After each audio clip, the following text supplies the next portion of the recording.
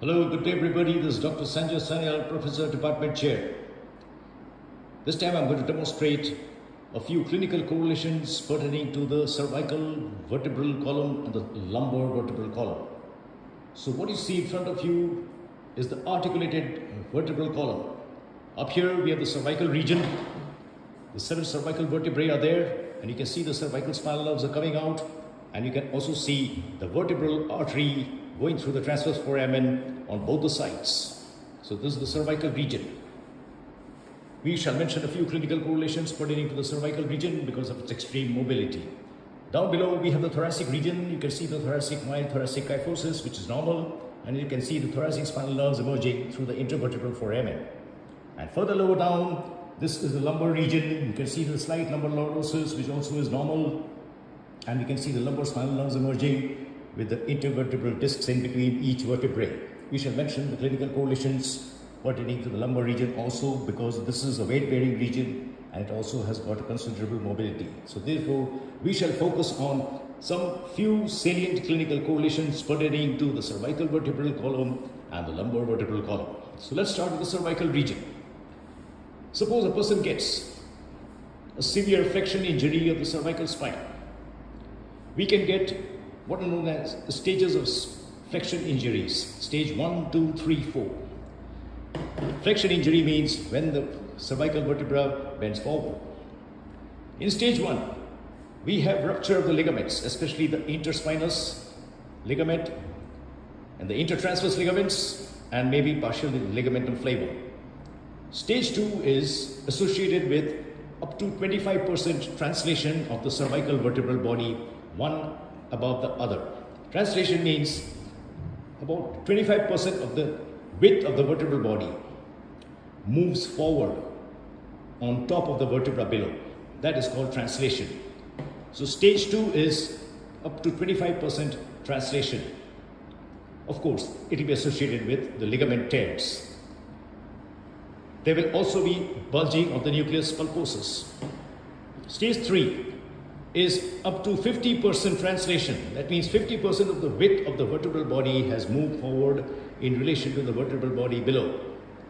And stage 4 is up to 100% translation. That means the whole vertebral body has moved completely away from the vertebra below and it is also associated with facet jumping.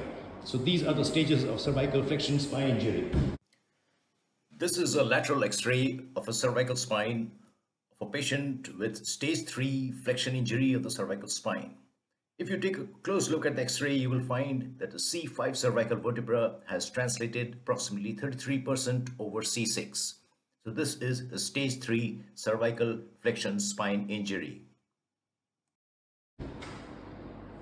Then we can have herniation of the nucleus pulposus, the one which is traditionally referred to as prolapse of intervertebral disc. We usually get herniation of the nucleus pulposus in the lower cervical region. Classically, it occurs at the junction between a mobile part of the vertebral column and the fixed part of the vertebral column. And this also happens when there's a flexion injury.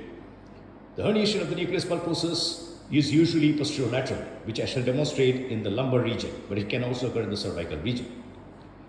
Excessive cervical manipulation, especially chiropractic manipulation, has been documented to produce dissection aneurysm of the vertebral artery, which you can see running, running through the transverse foramen. And this dissecting aneurysm can produce posterior cerebral stroke. If we have extension injury of the cervical spine, then we can get tear of the ligaments, anterior longitudinal ligament, and we can also have injury to the spinous processes and the lamina of the cervical vertebra. If we have extension of the head and neck and then flexion, that is called whiplash injury, then we can get what is known as a central cord syndrome, where there will be sacral sparing. Now let's come down to the lumbar region. The lumbar region is also a weight-bearing region, so therefore it is prone to degenerative osteoarthritis, wear and tear, osteopenia, osteoporosis. Apart from that, we can get what is known as spondylolisthesis. What exactly is spondylolisthesis? A degenerative break of the pars interarticularis between the superior and inferior articular facets. then we get what is known as slipping of the L5 vertebra on S1 and that is called spondylolisthesis. For this to occur, there has to be bilateral spondylolysis, lumbar L5. That means both sides, the pars interarticularis of L5 should be degenerated and broken, which will allow the whole lumbar vertebra to move forward on the S1. That is called lumbar spondylolisthesis. We can also have herniation of the nucleus pulposus. And you can see here in this model, they have given us a representation of the herniation of the nucleus pulposus. This herniation also typically occurs in the posterolateral region and it also compresses the emerging spinal nerve. The rule of thumb to be remembered is the herniating nucleus pulposus, whether it's in the cervical region or in the lumbar region, it compresses the nerve of the higher numerical value which means that if there's a herniation of the nucleus pulposus as shown here, between L4 and L5 vertebra, it will compress the L5 spinal nerve.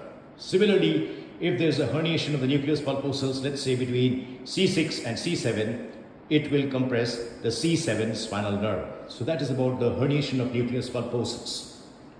Apart from that, as I've already mentioned, the lumbar vertebrae is highly prone to degenerative wear and tear and also produces osteophytes which can produce lumbar stenosis which can be accurately diagnosed by myelogram or MRI.